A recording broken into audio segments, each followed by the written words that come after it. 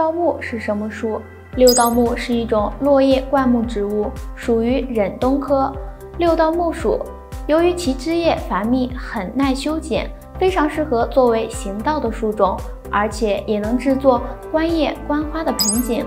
其茎还可以制作烟袋干等工艺品，果实还可以入药。六道木的叶子形状呈矩圆形，正面深绿色，背面绿白色。它的花在枝条的叶叶中单生，花冠有白色、淡黄色和浅红色，花瓣有四片，通常在早春开花，八九月份结果。六道木在我国黄河以北的省市中有所分布，通常生长在海拔一千至两千米的山坡上。它有较强的适应性，在石质山地中也能生长，有不错的耐旱性，需要充足的光照帮助生长。